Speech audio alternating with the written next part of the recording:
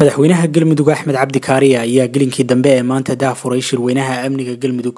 Shirkan oo ay soo agaasintay wasaaradda amniga galmudug ayay ka soo qayb galeen dhammaanba saraakiisha ciidamada qalabka sida iyo kuwa galmudug. Saraakiisha ciidanka amisom maamulada heer gobol iyo heer degmo gudoomiyaha maxkamadda sare iyo gudoomiyaha baarlamaanka galmudug. Shirkan oo madaxweynuhu si rasmiya u furay ayaa socon doona muddo laba maalmood ah waxaana diiradda lagu saari doonaa amniga guud ee galmudug amniga doorashooyinka iyo arrimaha garsoorka iyo cadaaladda. Xildhibaan cabdulaahi axmed cali wasiiru dowlaha amniga galmudug ahna kusimaha wasiirka ayaa ugu horreyn sheegay in ujeedada shirkan ay tahay sidii looga gudbi lahaa habacsanaanta amniga.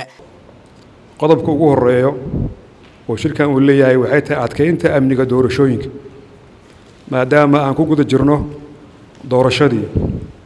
In la adkeeyo labadii goobood ee ay ka dhaceysay doorashada sida caasimadda dhuusamareeb iyo gaalkacyo.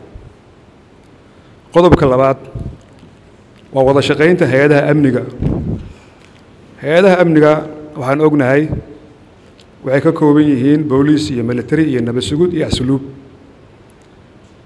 iyo daraawiish waxaan aragnay habacsanaan jirta in laysku xiro oo ay noqoto hal xubin ama hal cudwi oo amniga oo dhan ay noqoto in qof loo raacdo uu helo.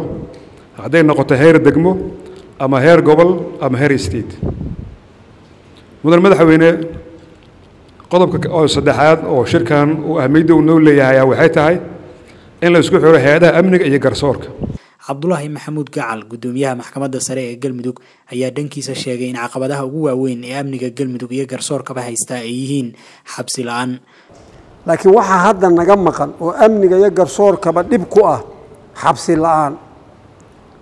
Dowladnimada dadaa afka ku duminaya dadaa maal ku duminaya dadaa qora ku duminaya intaasu waxay u baahan yihiin lama wada dilaayee meel lagu dhaqan celiyoo la geeyo madaxweynaha galmudug axmed cabdi kaariyo oo ugu dambeyn shirkan dah furay ayaa saraakiisha amniga faray inay taxadar ka yeeshaan falalka amni darro islamarkaana la helo ka jawaabid deg deg ah haddii faldhaco. Waa fiican yahay. Dhibaatooyin dhibaatooyin dhaca lama weynayo. Way jirayaan laakiin dhibaatada see loola tacaalay see loo maareeyey see loo wajahay. Taasaa muhiim dhib uu dhacaya. Waa in sida ugu habboon wax looga qabtaa dembi kastana oo dhacana uu helo uu laga daba tago ama uu helo jawaabtiisa marka horena inuusan dhicinba laga lagu dadaalo. Cabdullah warsumarooble warbaahinta qaranka dhuusamareeb